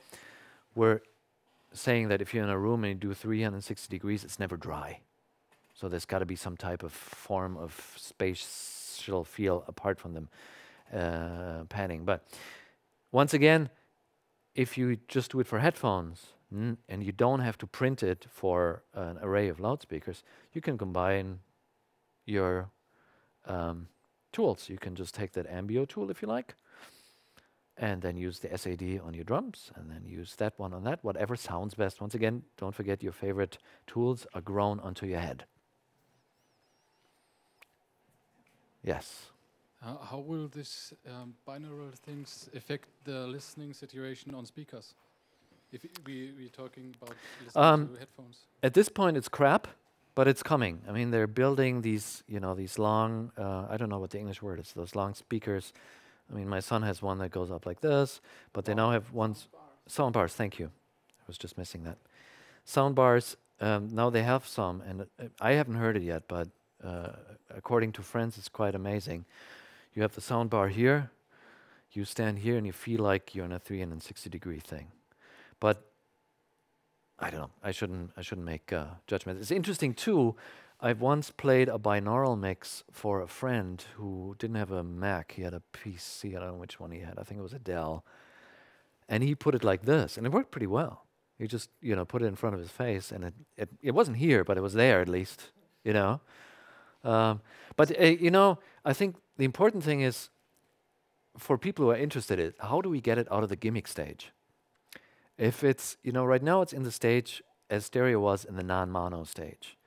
So it needs there needs to be some breakthrough artist like Pink Floyd was for stereo, for example, that does a 3D thing that you can jog to. Nobody's gonna, nobody's ever gonna. Who? I mean, uh, do you? Do you listen to music in a sweet spot, in the same spot for three hours? No. You listen to music in the car, with that old thing under the dish rack when you cook or hang out in the kitchen, whatever it is. Nobody does that, so that's not to happen. So the headphone thing, I think, is the best thing right now that we have. Yeah. Does it answer your question? Yeah, or uh, not not okay, you can do it. Is it um, um, it does only work when there's no reflections and you are in the sweet spot, or what is it about? When does this system work exactly? With headphones, anytime. Once without you headphones. Without headphones. Because you told me if uh, no, the okay. The sound bars are in development, and the idea behind them is just like with headphones. Wherever you are in the room, it tells you it it uh, defines a certain spot for certain things for you. But if you want to listen to it right now, you have to make play it out as a mix that is based on headphone uh, on uh, speakers. Um, there are, you know, speaker-based and object-based uh, surround things. Kind of goes too deep right now, but speaker-based obviously is what we know from stereo. If I stick something in the right speaker and I move the speaker over here, the sound is going to move. Uh, object-based is uh, where more or less um, the playback system measures the listening environment, the speakers, and it doesn't matter where the speakers are in the end. That's what happens a lot in uh, movie theaters. And then you have encoded a sound with a specific position.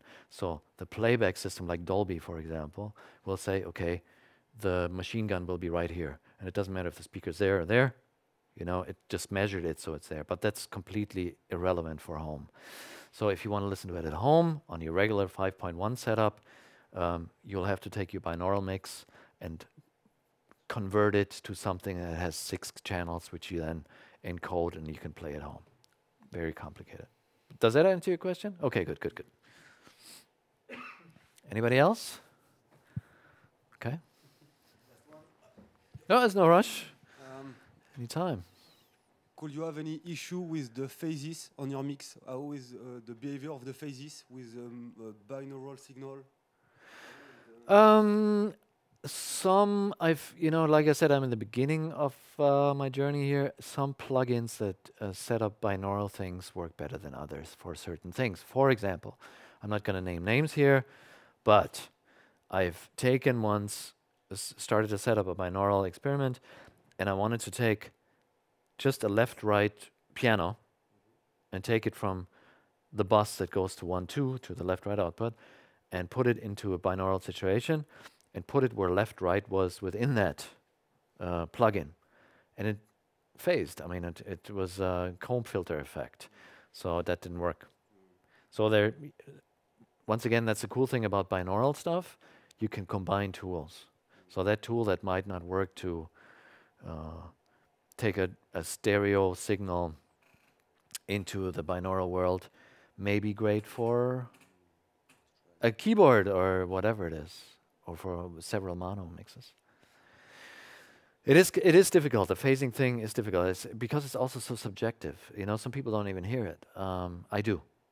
I'm I'm both a big friend and of phase. Like for example, when I record, um, I said earlier, I reamp, and then I record the the bass amp with a bunch of mics. Uh, all of you who've ever recorded a guitar know, okay, you have a mic directly on the on the amp, and then you have a mic three feet away or whatever. It'll make it thinner. That doesn't work. So what do I do these days? I'll just line them up visually. All of a sudden, you have all the nice mid stuff. Uh, and you can use whatever mics you like. So you can use four mics in any place, ignore physics, and then just pop it together and see what sounds best. Use the tools again. So, okay. Any more questions from the world or in here? from the world, there's not so many questions, actually. Okay. Well, then, uh, thank you for your rapt attention, and uh, I hope you enjoyed it.